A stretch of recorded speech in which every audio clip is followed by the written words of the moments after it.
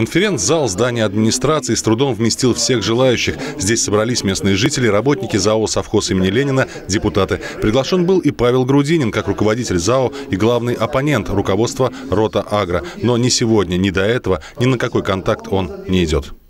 Мы месяц сбились, обязаны всем акционерам дать отчетную документацию. Мы ходили, куда только не обращались, и в контору, и по почте, и по интернету, и как только не просили, нам не дали ни одного документа. Об отношении Павла Грудинина к ситуации и готовности идти на диалог говорит и необходимость организаторов встречи поменять планы. Изначально общение с гражданами должно было состояться в более подходящем помещении. Мы планировали провести эту встречу в Доме культуры, но там э, то ли вчера, то ли сегодня с утра кто-то установил кодовые замки, теперь туда попасть невозможно. Сторонники Павла Грудинина постарались сделать так, чтобы группа компании «Рота Агро» воспринималась не иначе, как захватчики совхоза имени Ленина. Такие встречи и призваны расставить все точки над «и», увидеть, кто есть кто. Мы серьезный агропромышленный холдинг, который давно на рынке, одно из крупнейших предприятий сельскохозяйственных.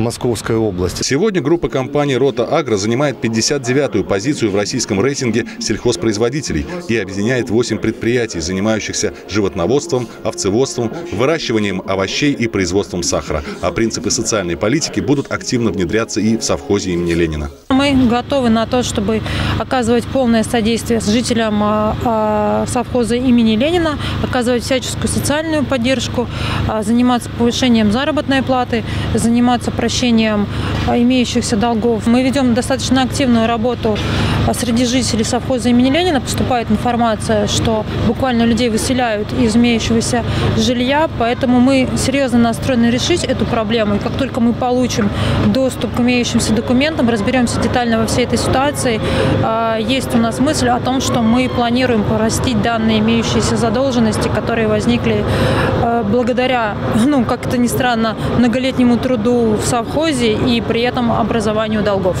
На встрече прозвучали вопросы, касающиеся и жизни поселка совхоза имени Ленина. Ведь теперь Рота Агро также станет одним из градообразующих предприятий. Мы обратились с просьбой э, передать здание э, в муниципалитет, что дало бы э, стабильную ну, надежду на то, чтобы это было бы для жителей да, надеждой того, что Дом культуры никогда не поменяет свой профиль. А, ответа, к сожалению, ни мы, ни глава не получили. Вот. А хотелось бы у вас поинтересоваться, как у главного акционера. И, конечно, этот Дом культуры по-хорошему не только надо посмотреть, а надо было бы передать в муниципалитет. Тем более, правильно говорите, сегодня именно бюджет городского округа полностью финансирует все эти бесплатные кружки, все заработные платы, все оборудование, которое внутри, и ремонты, и сумасшедшую аренду. Состояние придомовых территорий также стало одной из тем для обсуждения. Мы видим неубранные дворы, мы видим неубранные территории. Куда обращаться? Управляющая компания отфутболивает ЗАО «Совхоз». ЗАО «Совхоз» мы понимаем, что на диалог пока не идет. На встрече присутствовали представители движения «За совхоз», «За людей», «За достойное будущее», которое объединяет активных граждан, общественников, депутатов муниципалитета. Его руководитель Артем Грудинин предложил закрепить договором все, сказанное на встрече. Мы бы хотели людям помогать в первую очередь. Нам очень важно наполнять те наказы депутатские, либо просто просьбы наших граждан. Мы, конечно, готовы и помогать, и даже подписать соглашение. Генеральный директор Рона Агро Ася Долянская зачитала содержание документа. Компания Рота Агро берет на себя обязательство оказывать всестороннюю помощь движению «За-за-за» в деятельности по защите прав и интересов работников ЗАО, членов их семей, а также жителей поселка совхоза имени Ленина всех возрастов.